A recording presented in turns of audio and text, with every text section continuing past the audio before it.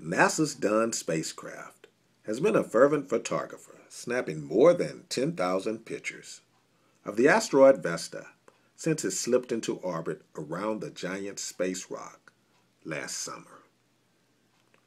Reports say Dawn circled from an average altitude of 130 miles above the surface.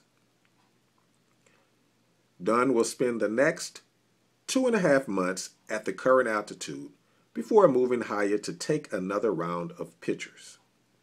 By that time, the sun will hit Vesta at a different angle and illuminate sections of the northern hemisphere that had been strawed earlier. Breaking Internet Radio News. NASA Dawn spacecraft beams back new images of Vesta asteroid. You hear it here first. Internet Radio Blog.